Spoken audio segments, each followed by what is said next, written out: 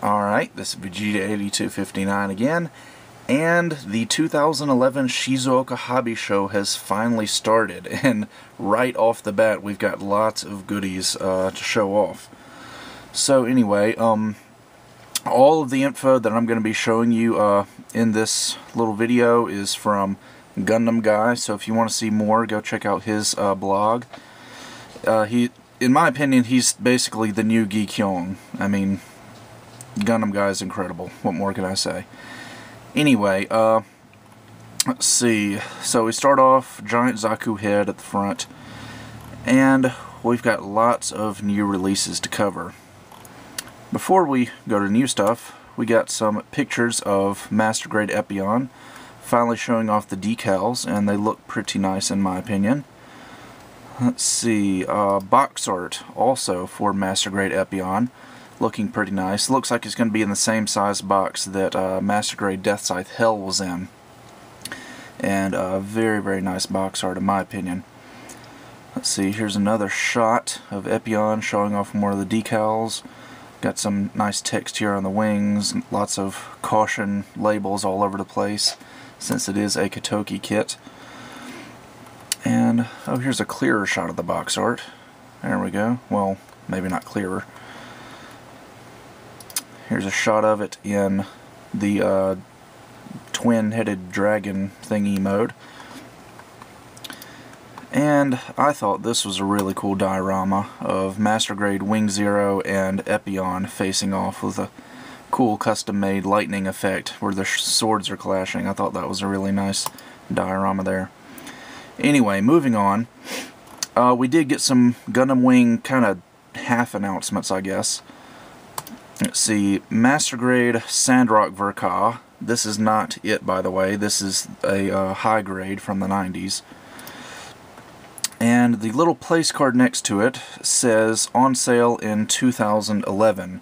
Doesn't say when in 2011, but uh, it looks like Sandrock Ver.Ka, or Sandrock EW if you want, is going to be coming out sometime this year. Also, in that same display was Heavy Arms, again, a 1 to 100 scale high grade.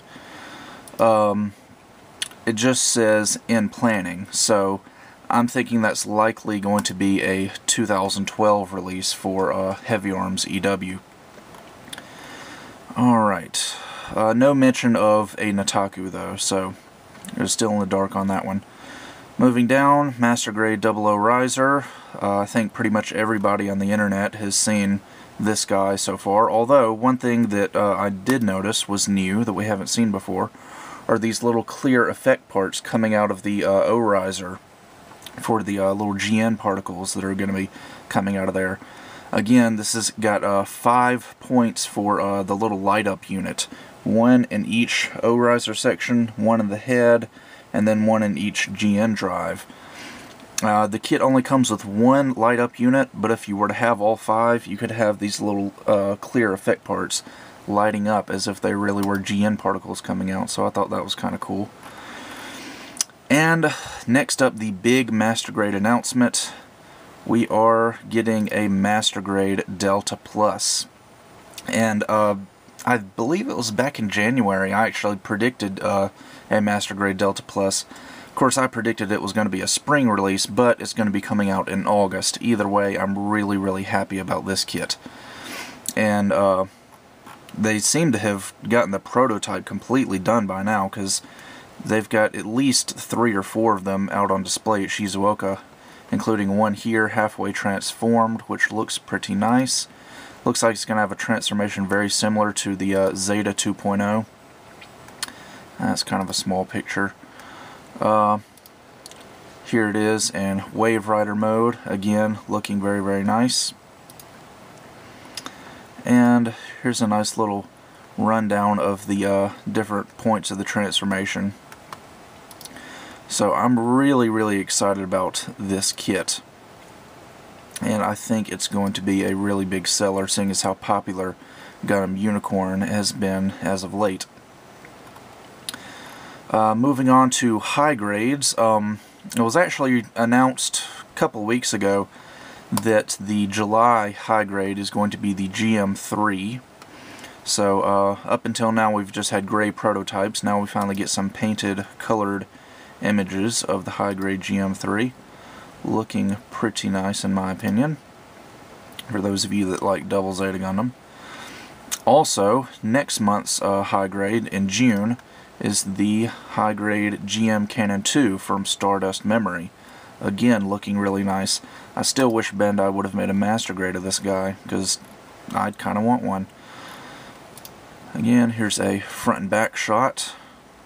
Mainly a uh, retooling of the GM Custom, which came out uh, a couple months ago. Here is a, another shot of the high-grade Dreissen, which is coming out this month, just in a week or two, I think. And this one seems to... Oh, wait a minute. This actually looks like a new... Huh. I didn't notice this before. In this month in May, we're getting a uh, high-grade Dreissen sleeves version from Gundam Unicorn, but I just noticed that this little card down here says high-grade Dreissen double Zeta version. And this one does not have the sleeves, and it's got a different color scheme than the Unicorn version, which you can kind of see right there in a small picture. So I'm wondering if they're actually going to have two releases now. And it says on sale in late May. So I'm wondering if they're actually releasing two Dreissens instead of just one. Oh well, I guess we'll find out. Anyway, so that's coming out this month.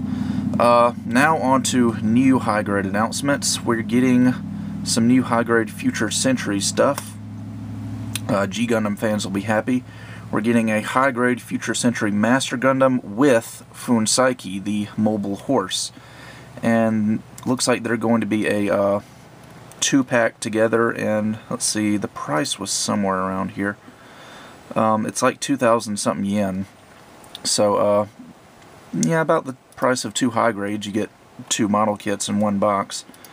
Uh, looks pretty nice in my opinion. I admittedly I thought this was going to be a master grade release at first, but uh, turns out I was wrong. And I guess it just goes to show that this uh, new high grade looks very much like the master grade Master Gundam.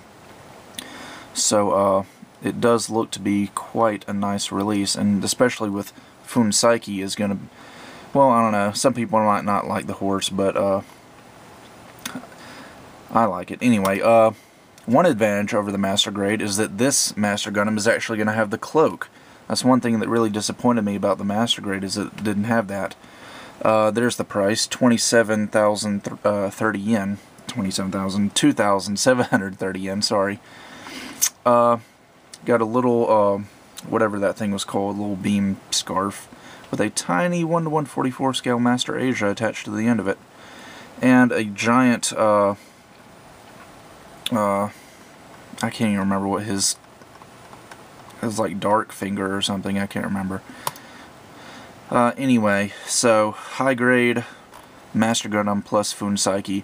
Not sure if they will be separated uh, in the future into two separate high grade releases or if they're going to remain, remain as one release forever. I don't know. Also, from G Gundam, we're going to be getting a high grade Future Century Shining Gundam. I'm sure a lot of people will be happy about this because I know Shining Gundam has a lot of fans. So, uh, and if I remember reading correctly, I think they were both coming out in the same month. August and August. Yes, both of them coming out in August. So it looks like we're going to get two high grades for that month. And Shining Gundam, again, looking very, very nice. And it looks like uh, we're going to get both versions, um, like it looks like it's going to be transformable. It doesn't look like there's going to be two different versions like there was when uh, Gundam Unicorn came out in high grade. So it looks like you'll be able to switch between the two. There's some more pics of Real Grade Strike Gundam. Um, it's showing Real Grade Strike with the uh, launcher and sword packs. However, I do want to stress that these are uh, modeled by a pro modeler for Dengeki Hobby Magazine, so I would not count on these being actually sold in the future. Uh, Dengeki Hobby may release them as like one of their special little magazine kits, but uh, for right now, it doesn't look like they're going to be on sale. So, uh, too bad for those of you who wanted it. More pics of the uh, real grade Zaku 2, which is going to be coming out in July, I believe. Yes, July. And, uh, yeah, looks like that's about it. More pics of SD Wing Gundam, Ver.Ka slash EW. This is coming out in June, actually less than a month away. Um, one thing I do want to note about about this kit is that aside from the excellent color separation, which you can see here, it looks like Bandai has actually gone back to giving their SD kits articulated elbows because it does look like the elbows can bend in this kit. Also, the little vents on the face are cut all the way through, just like on a uh, perfect grade or a real grade, so it looks like Bandai's starting to step up the technology on their uh, SD kits. Oh, one other release. SD Kshatriya. And let's see if I can get a bigger picture. There we go. SD Kshatriya and SD Loto. Not sure if they're going to be together in one set since the Loto is so small or if they're going to be separate releases, but I would really like to get my hands on one of those. So uh, Kshatriya I think is definitely going to be on my to buy list. And let's see, Gun. Ooh, more Gunpla Builders stuff. I didn't see that coming. Gunpla Builders J looks like a spin-off series. Um, looks like just some variants of the uh, uh, beginning Gundam. Uh, looks like these are going to be exclusive releases from Hobby Japan and Dengeki Hobby, so I don't think those are actually going to be uh, sold in model shops. Uh, one last Sangokuden kit, the Qubeley, uh, some Converge stuff, Transformers model kits, Optimus Prime and Bumblebee, as well as what appears to be a non-transformable Starscream kit. Um, we've got some new uh, aftermarket hands coming out that uh, at first, uh, some people thought these were from Bandai, but HobbyLink Japan says that they are from Hobby Base, uh, the people that do Yellow Submarine, low option joints, and things like that.